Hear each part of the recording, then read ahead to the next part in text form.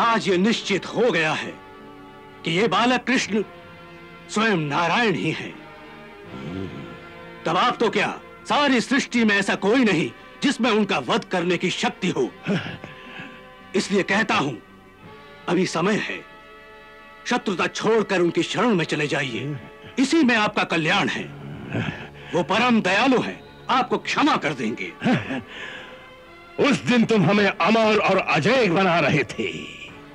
और आज आज हमें दया की भीख मांगने को कह रहे हो। उस दिन भी सत्य कहा था और आज भी सत्य कह रहा हूँ महाराज।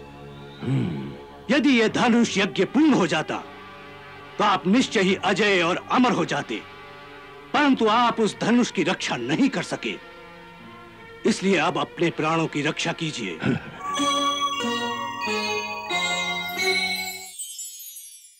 मैं ब्राह्मण होते हुए भी आपके श्री चरणों में शीश नवाकर आपके भले के लिए प्रार्थना करता हूँ।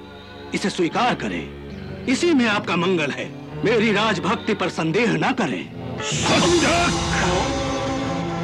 धिक्कार है तुम पर और तुम्हारी राजभक्ति पर। जिस कंस ने इंद्र को पराजित करके उसकी अमरावती पर अपना झंडा लहरा दिया तीनों लोक में जिस कंस को कोई परास्त नहीं कर सका, उस महाबली कंस को तुम अपने ही हाथों अपनी हार स्वीकार करने को कह रहे हो। याद रखो, कंस मर सकता है, हार नहीं सकता।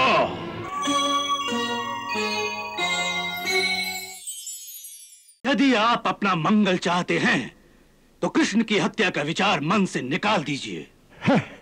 उसकी हत्या का विचार मन से निकालकर क्या मैं उसके चरणों में बैठकर क्षमा प्रार्थना करूँ? उसके सामने गिड़गिड़ाकर अपने प्राणों की भीख मांगू? अवश्य यही कीजिए। मैंने उस दिन कहा था कि मेरे गुरुदेव ने मुझे स्पष्ट शब्दों में बताया था कि धनुष यज्ञ पूर्ण होने से पूर्व यदि धनुष टूट गया तो यजमान की मृत्यु हो जाएगी। और जो उस धनुष को तोड़ेगा वो और कोई नहीं होगा। स्वयं नारायण ही होंगे।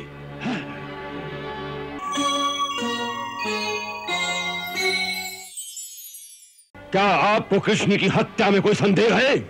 मुझे विश्वास है कि कृष्ण की हत्या हो ही नहीं सकती। तुम भी इतनी जल्दी बदल जाओगे यह हम नहीं जानते थे। कृष्ण की हत्या के लिए यह तुम्हारी ही योजना थी कि धनुष यज्ञ के उत्सव का बहाना करके उसे मथुरा बुलाया जाए, जहाँ उसका वध सरलता से हो सकता है। फिर आज पासा पलट कैसे गया?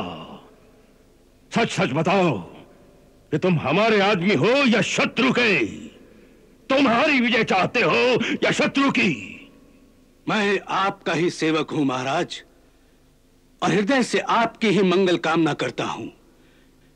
इसीलिए मैंने उस दिन ये योजना भी बनाई थी, और इसीलिए आज ये कह रहा हूँ यदि आप अपना मंगल चाहते हैं तो कृष्ण की हत्या का विचार मन से निकाल दीजिए।